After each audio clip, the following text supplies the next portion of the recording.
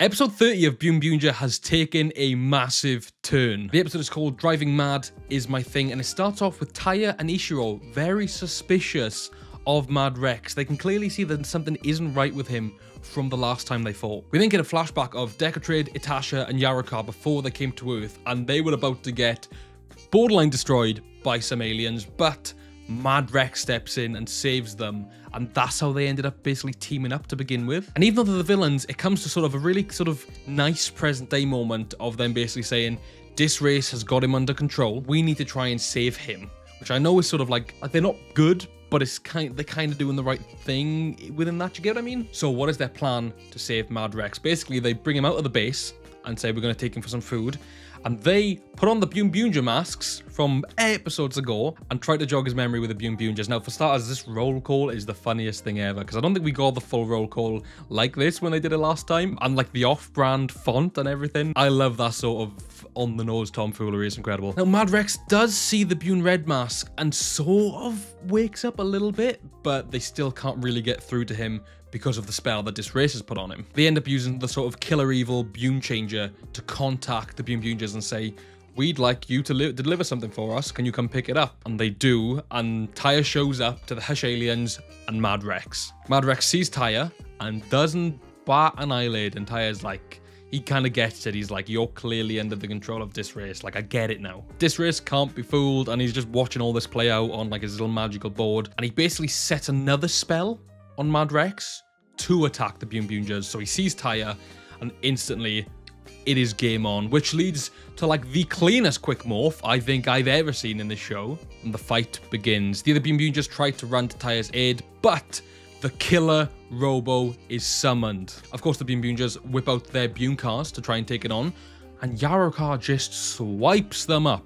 So now we have the killer Robo with like the police car and the, the, the purple Byung car attached to it. Like they straight up just stole the Bune cars. So naturally, they are bricking it, but of course, they have many other Bune cars they can call upon, and they go for the aquamarine uh, sort of formation. Now, stakes are high. The Hash aliens have two Bune cars under their control, and Mad Rex and Taiya are going one on one. We're cutting back and forth and back and forth and back and forth until out of nowhere, Genba comes around the corner. We see the return of Bune 119, which low key I'm quite happy about because I said that they were overusing it, but for the last few episodes, we haven't really seen it and you know facing off against Mad Rex like that is no better time than to whip up the 119 power up in my opinion. Now Genba tries to help Taiya but Sakito gets in his way. Now I don't really know why but I think it's along the lines of him basically saying like this is his fight let him fight it and Genba's like, no, like, we need to do something about this. But Genba's like, move out your way. You're nothing but a cleaner. Come on. And Sakito is absolutely not. So the both of them henching, right? They both turn into Byung Violet and Byung Orange, and they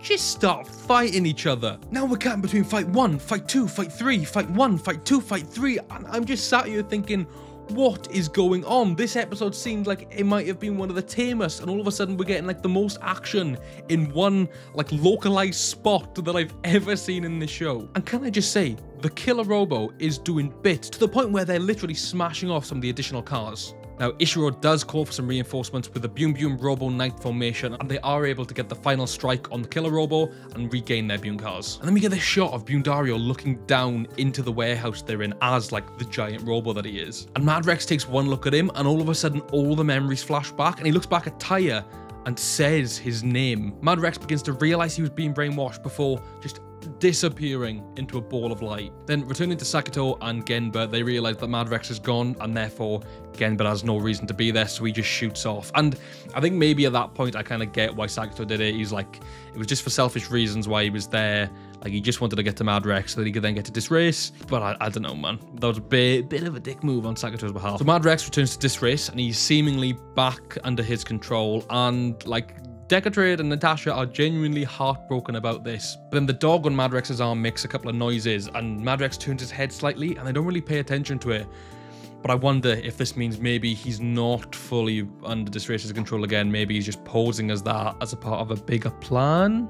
I don't know. I'm interested to see where that might go. I think Mad Rex might be hiding something. This episode was insane. I genuinely don't think Byung Byung just given us like a series of fights that intense that it's like cutting between action, action, action, action, and also just the Rangers getting an absolute whooping from the Hush aliens. Like there's been some close calls, but this was ridiculous. Genba's still acting as a lone wolf, and I wonder how long it'll be until he potentially rejoins them. And even though I kind of want everybody to be on the same team again, did really enjoy the Ranger versus Ranger stuff, and I think I'd, you know I wouldn't mind seeing a bit more of that. It was cool when we had it with Sakito and Taiya a few episodes ago. I'd love to see a bit more of that. I think. And yeah, just Mad Rex and Disrace. Again, I still don't think Disrace is like the top dog commander um, of the Hashalians. Maybe he is, but I don't think we ever got that answer. I'm gonna I'm gonna go out on a limb and say he isn't. We only have like an average of 20 episodes left of Byung I know some seasons are about 47 episodes. I know some can go up to about 52, 53. But we're in like the final stretch, and we're in the third lap of Byung Obviously, I don't know if there's gonna be a fourth lap. I don't know how that works. Maybe I'll,